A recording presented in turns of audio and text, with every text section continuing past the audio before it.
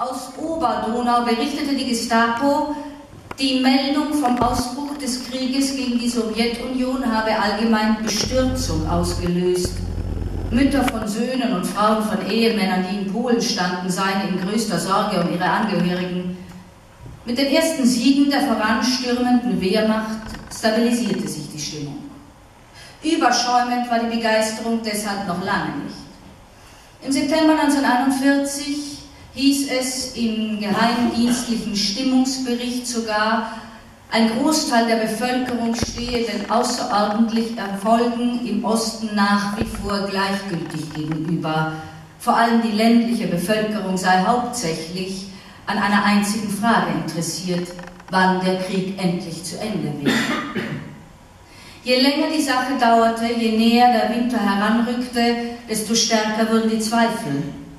Würde es Hitler in den Weiten Russlands ergehen wie einst Napoleon und seiner Grand Armee? Eine bange Frage. Die allgemeine Lage verschärfte sich ab Anfang 1942 erneut. Ohne Bezugsscheine war so gut wie nichts mehr erhältlich. In Osttirol verlangten die Geschäftsleute von den Bauern beim Einkaufen von allen möglichen Gebrauchsgegenständen Bauernpunkte. Das heißt Butter, Speck, Würste, Fleisch, Wolle etc. Alles natürlich unter der Hand. Insgesamt war die Versorgung in agrarischen Regionen besser als in der Stadt. Als Steffi Jone von einem längeren Landaufenthalt zurückkehrte, wurde sie wegen ihres guten Aussehens bestaunt. Ihr Kommentar? Ja, wenn man Bauernbrot und Vollmilch bekommt, die tun ihre Wirkung. Kartitsch, wo Oswald Sint lebte, war bald ohne junge Männer. Zwei waren schon 1940 als Gebirgsjäger beim Kampf um Narvik getötet worden. Viele sollten noch folgen. Im Laufe des Krieges fielen vier der fünf Söhne von Oswald Sinns Nachbar. Günter Dubeck stellte in Wien auf dem Fußballplatz fest, dass die Männer sukzessive verschwanden. Bei den meisten Vereinen spielten nur noch 18- und 19-Jährige und das Publikum setzte sich in erster Linie aus Jungen unter 17 und Männern über 45 zusammen. Auch die Polizei war offensichtlich stark ausgedünnt worden, denn in den Parks und auf den Straßen hatten Gruppen von Jugendlichen das Sagen.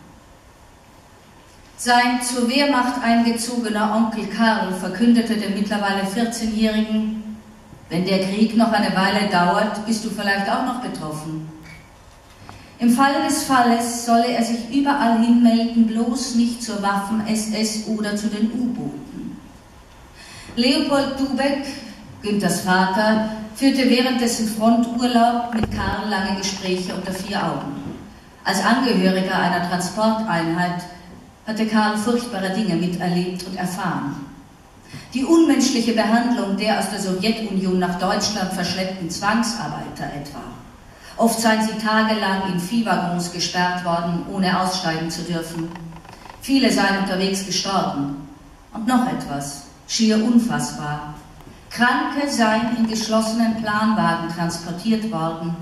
Mit einem Schlauch habe man Motorabgase in den Innenraum geleitet, bis die Menschen elendig erstickten. Leopold Dubeck nahm endgültig Abstand vom nationalen Sozialismus Hitlers. Im Flüsterton, hinter vorgehaltener Hand, sprach sich langsam herum, wie es in diesem Krieg zuging und zu welchen Verbrechen dieses Regime fähig war.